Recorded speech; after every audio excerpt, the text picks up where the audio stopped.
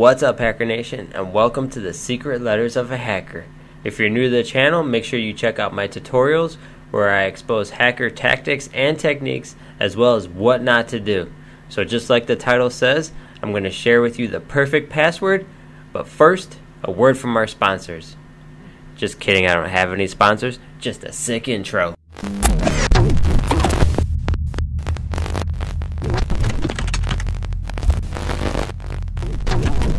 Alright, everyone. You see this right here? This is what 10 million passwords looks like. Now, you're probably wondering after 10 million passwords, what's the perfect password? Now, I went through all these millions of passwords line by line, one by one, and I wrote them down in green font. And you might not have your PhD, but luckily I have a PhD, which is my password hacking degree. And I'll let you in a little secret. What all these passwords don't have in common are cat names. So, whatever your cat's name is Smokey, Patches, Grumpy Cat it's not in here. Admin, admin123, password123, whatever your cat's name is, Donald Trump 2020, I don't know.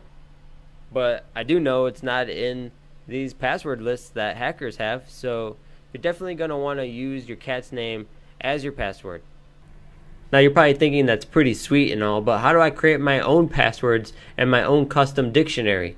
Well, let's jump over to Kali Linux and I'll show you exactly how to do that. Alright guys, so here we are on Kali Linux. So the first application we're going to use is called Cup and that's a wordless creator based on somebody who you are specifically targeting. And then we're going to jump into a application called Cool. And what that does is it spiders a website and returns a list of words that can be used in password cracking for that specific target. And then the third thing we're going to jump into is called the mentalist. And what that is, is a word mangler, and it mangles up all the information, passwords, dictionary names that you've gotten from the previous two applications and creates an even larger dictionary file based on that specific target. Let's go ahead and jump into Cup. And what we're going to do is we're going to use the interactive mode. And what this does is it asks us a list of questions targeting a specific person and it's going to create words based on those questions. And the first name of our target is William. Last name is Shakespeare.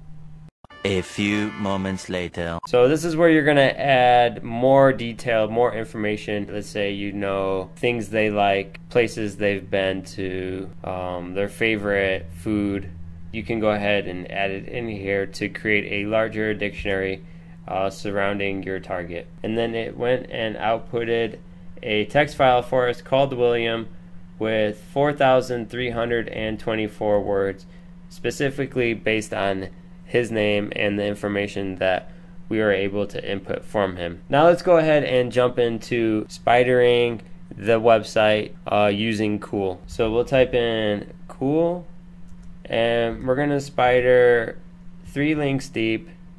And we're gonna pick all words that are at least five characters long. And we're gonna output that into a word file called Williams website .txt. And then this is where you type in your target's website for example example.com so we're just going to go out to example.com and we're going to spider that website, pull out all the words that are at least five characters long, and it's going to output it into a Word file for us. And then we're going to go ahead and pipe that all into our specific password file for William Shakespeare. And let's just do a word count on William website. And as you can see, it found 13 words that are at least five characters long. If we go ahead and cat this, it'll go ahead and output it right here for us. And you can also do a word count for websites and see if there are any words that they use more often that could help you in password cracking. And to do that, we'll type in cool dash C, which stands for a word count. And we're going to do whatever your target is. We're just going to do, for example, example.com. This is where you'll put in your target website. So if you are targeting a website and you run this and you see, for example, a word that they use 500 times, 600 times, you might want to go ahead and add that word into your password and dictionary word list because a lot of people use words that are common to them when creating passwords. So let's go ahead and cat William website and we're going to send that over to william.txt which was our password file from earlier. And now we're going to go ahead and jump into the Mentalist, which is a word mangler.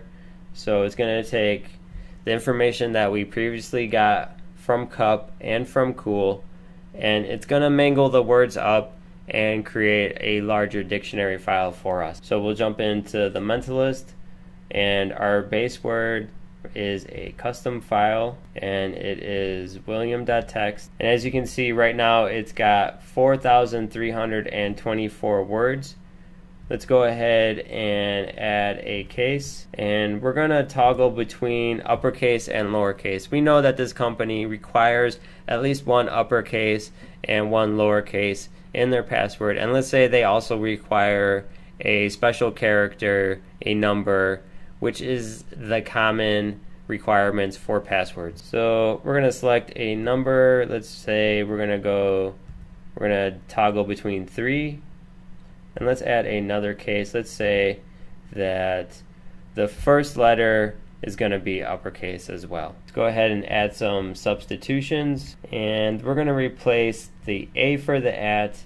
That's commonly used the S for the dollar sign, that's commonly used. We're going to replace the O for the zero because that's also commonly used. We're going to do it all together. Let's add another substitute. Say the first instance of that at, and we're going to do the first instance there as well. And now we are up to 17,685 passwords targeting specifically William Shakespeare we're blocking out all the noise from other password lists that might not have anything to do with any information that we have on William Shakespeare.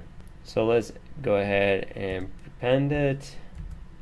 Let's add some special characters in there. We know that the exclamation point, the at, the dollar sign are all commonly used in passwords. So we're going to add some of those. We can also add in English word dictionary, we can do common names. Uh, let's do common pet names in here as well. And as you can see, it jumped up to 21 million passwords targeting William Shakespeare specifically based on the information that we were able to aggregate from him and let's go ahead and process the full word list. So again, we got information using cup, which targets a specific person. Um, you can add information based on their surroundings, their environment, what they like, what they don't like, who they're associated with, their pet's name, and then we went out to their company's website and we spidered their website for the most commonly used words and we added that as well to the password dictionary. And then we sent it all to a word mangler. So now that the process is completed let's go ahead and take a look at it.